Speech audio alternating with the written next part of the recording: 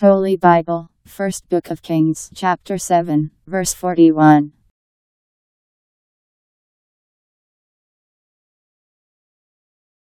The two pillars and the two cups of the crowns which were on the tops of the two pillars, and the network covering the two cups of the crowns on the tops of the pillars.